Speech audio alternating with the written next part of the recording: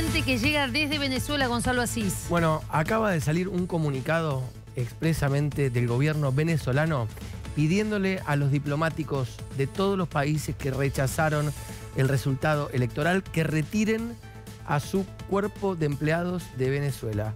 Voy a leerlo muy detenidamente porque esto lo que ven acá es un comunicado oficial.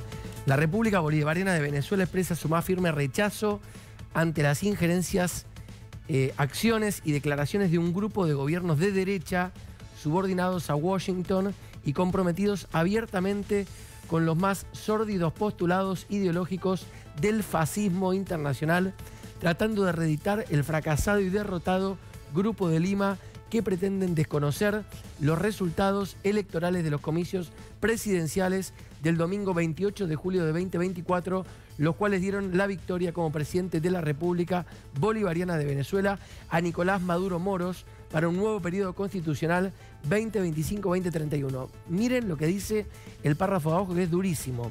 El gobierno de la República Bolivariana de Venezuela, ante este nefasto precedente que atenta contra nuestra soberanía nacional, decide retirar todo el personal diplomático de las misiones en Argentina. Es decir, van a retirar el personal diplomático venezolano de estos países. De Argentina, de Chile, de Costa Rica, de Perú, de Panamá, de República Dominicana y de Uruguay. ¿Escucharon bien?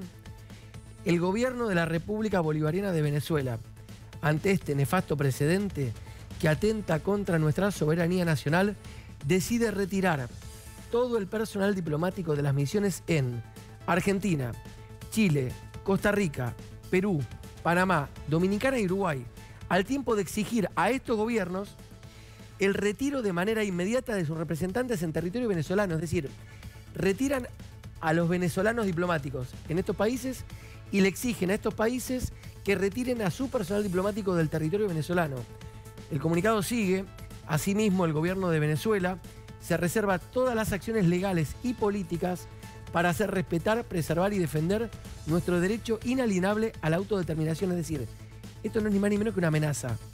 Se reservan ellos a sí mismos las acciones legales y políticas para hacer respetar, preservar y defender Si no nuestros los retiran, derechos. los echan.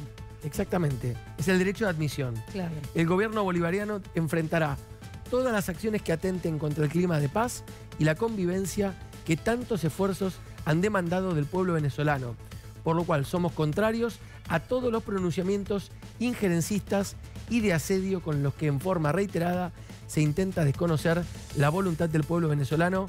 Caracas, 29 de julio de 2024. Esto es. Ahora, lo paso en limpio. Venezuela anuncia que retira a todos sus diplomáticos de los países mencionados recién, que los voy a Sí. reiterar, son Argentina, Chile, Costa Rica, Perú, Panamá, Dominicana y Uruguay. Que son los que pidieron una revisión, ¿no? Que manifestaron ahí su preocupación hasta- por las elecciones. Exactamente.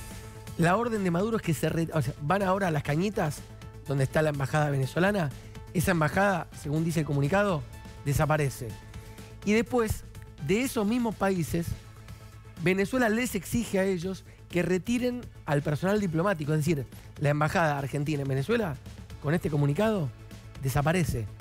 Lo mismo ocurre con la de Costa Rica, la de Chile, la de Perú, la de Panamá, la de Dominicana y la de Uruguay. Es tremendo, Paula, esto. Digo, venimos acostumbrándonos, me parece, a un desprecio total por la diplomacia, tanto por derecha como por izquierda. La diplomacia es una de las ciencias que en el mundo garantizan la relación entre los países a fin de lograr mejores relaciones comerciales, tratados de paz, mejores relaciones sociales, cuestiones vinculadas a la política migratoria. Es indispensable la diplomacia. Esto es agarrar la diplomacia, hacerlo un bollo y tirarlo a la basura, Paula. Están echando a todas las delegaciones diplomáticas de Venezuela correspondientes a Argentina, Chile, Costa Rica, Perú, Panamá, Dominicana y Uruguay y están retirando a las delegaciones venezolanas en estos países como representantes de su país en territorio extranjero. Es tremendo.